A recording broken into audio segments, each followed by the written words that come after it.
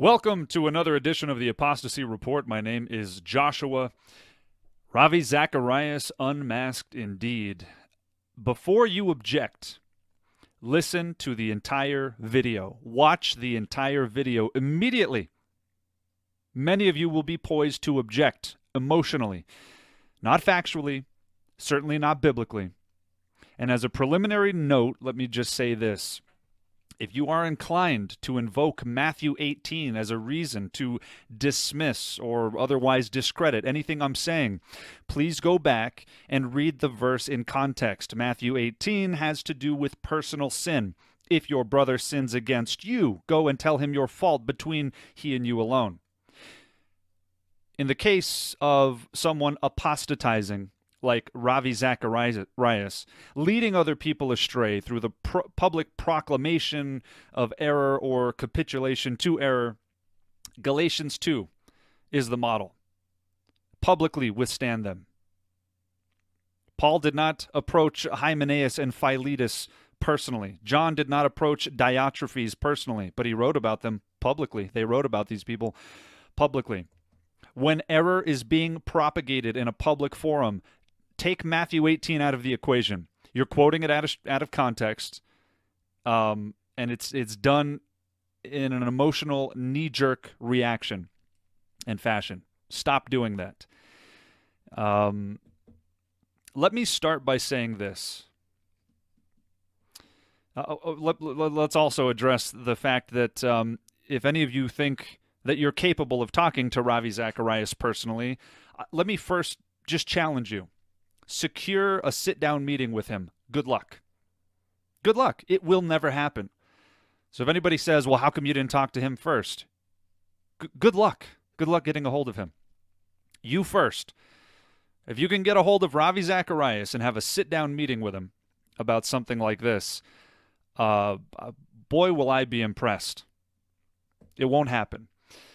Let me start by saying this. As a new believer in the Lord, I was uh, initially drawn to uh, Ravi Zacharias. I don't recall how I first heard of him, but suffice it to say, I spent probably an unhealthy amount of time listening to and indulging in Ravi Zacharias material. From lectures to books to curriculum. I have I've purchased several and read several books authored by Ravi Zacharias. I have listened to dozens, if not hundreds, of hours of lectures from Ravi Zacharias dating back to probably the late 80s. So, this is coming from the perspective of one who has every reason uh, to not say this. I was heavily influenced by this man as a new believer in Christ and I recommended him heartily to other people. He was uh, at the top of my list as a new believer.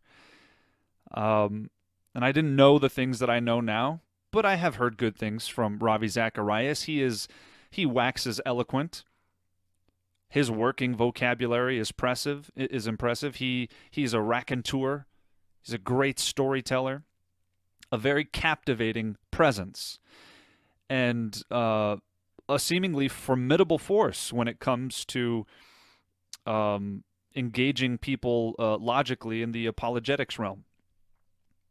I say seemingly uh, because although he uh, is capable of addressing uh, many superficial questions, uh, theological robustness is uh, is not what exudes from Ravi Zacharias, as you're going to see here. The point in all of this is that I have listened to and been a supporter of Ravi Zacharias in my past. And because he had an influence on me, I should have uh, significantly less reason to engage in this. So, for anybody who wants to say, ah, you're bitter, you're whatever, you have some vendetta, I, mean, I get this all the time about anybody. We are dealing with truth. If what I am saying and presenting is true, knock it off. If you don't have a biblical or factual objection to what's being said, perhaps you should cease objecting because it will be emotional babble. That's it. That's all it can be. Object biblically and or factually if you have an objection. Now this isn't typically uh, an area that I want to venture into unless there's a, a, good reason to do so and unless there seems to be a, a solid measure of credibility about it. Uh, the concerns are primarily doctrinal, but as you will uh, see with many of these men, when there is doctrinal aberrance, very often there is some moral uh, deviancy tied to it, whether you know about it or not. And Ravi Zacharias, is he violating his federal lawsuit non disclosure agreement? Does anybody care? Well, what is he, what are they talking about here in this article? Lawsuit, not for many people don't know about this. I don't know. Uh, this this did not not gain as much attention as I thought it would when I first heard about this uh, a couple years ago, year and a half ago maybe. Ravi Zacharias, from his own website, Says this in October 2014, I spoke at a conference in Canada. At the conclusion of my talk, I met a couple who expressed an interest in our ministry. The wife asked if I would reach out to her husband because he had questions about the Christian faith. As requested, I followed up by sending an email and a book to him and invited him to consider attending one of our educational programs at RZIM. Some months later, I traveled with my wife and our daughters to another part of Canada for a speaking engagement. The couple attended this event and invited my wife and me to dinner at a local restaurant afterwards. This was the second and last time I was ever in the same room with either of them. Subsequently, she began to contact me via the email address I'd used to contact her, her husband, after the first after first meeting them. My responses were usually brief. Then last year, she shockingly sent me extremely inappropriate pictures of herself unsolicited. I clearly instructed her to stop contacting me in any form. I blocked her messages and I resolved to terminate all contact with her. In late 2016, she sent an email informing me that she planned to tell her husband about the inappropriate pictures she had sent and to claim that I had solicited them. Let's just stop there. This is this is Ravi's own words. This is his own statement. So he acknowledges that she sent him inappropriate pictures. He says that he blocked her messages and resolved to terminate all contact with her. But notice what he didn't do. He didn't contact her husband, even though he had the husband's email address, apparently. He didn't attempt to contact the husband. He doesn't say anything that I immediately sought to contact the husband and say, hey, your wife just sent me some lewd photos. This is incredible. He didn't say that already something is amiss. Even with his own statement, she planned to tell her husband about the inappropriate pictures she had sent and to claim that I had solicited them. In April 2017, together they sent me through an attorney a letter demanding money. I immediately notified members of my board, and as they advised, I personally engaged legal counsel. So uh, he goes on to explain the, the details of what happened here. Okay. People are extorted all the time, and that's a that's a legitimate thing. Uh, this happens in in the realm of Hollywood and, and fame. Uh, c- celebrities generally have to keep retainer uh, attorneys uh, on uh, retainer because frivolous lawsuits are filed all the time against them. There's always somebody trying to make a buck, and um, I don't think that that's something to be overlooked here. However, the way Ravi Zacharias handled this and the subsequent uh, statements that were made seem to indicate that there was some culpability on his part. Now, I believe him when he says he wasn't in the same room with this woman. However, let's see, the, this is written by the Christianity Today International.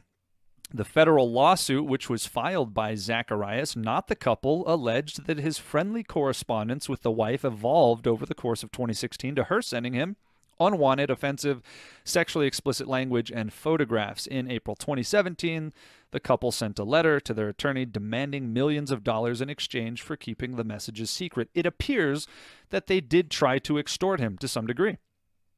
That's what it appears. However, I don't think both parties are guiltless. Why do I say that? Here is the letter sent by Bryant Law Center Um, this was April of 2017. So this is from their attorneys to RZIM and his staff. Uh, down here, I can't highlight it, but it says in an email, many lengthy telephone conversations with you. We have copies of your emails and the call register. Lori Anne, apparently the name of the woman, informed you of her decision to tell Brad, her husband, about this misconduct. You responded by email that you would end your life and, quote, bid this world goodbye if she confessed and outed you to her husband. You later admitted that this was not true, and we have independent confirmation of many of these discussions by an anonymous third party. So they make reference to Ravi Zacharias threatening suicide and stating, quote, uh, that he would have to bid this world goodbye. Now, here are some screenshots. This is just from a website. I cannot confirm whether or not these are the actual screenshots, but they are in accord with the letter that was sent from that woman's attorney. October of 2016, Ravi Zacharias says, Are you going? Apparently, it's stated that it's from Ravi. Of course, the specific address is redacted. Are you going to tell him it's me? Then he says, and I've seen another version of this, this redacted block uh, presumably says her name, Lori Anne.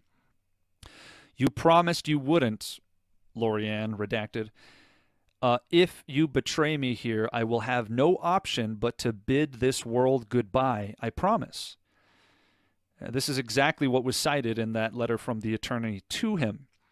Um, uh, it stands to reason that the attorney wouldn't cite something that they didn't have proof of. And so this sounds quite believable on their part, on the part of the attorney. He, thus, he then says, apparently, can we not meet at least once before you do this? Please, please. Little did I know that that was the most dark and accursed day of my life. You will not hear from me again. So, this completely corresponds to the uh, letter that was sent to him by this uh, Bryant Law Center. Why they would put in quotes something that was not provable, they wouldn't, is the point.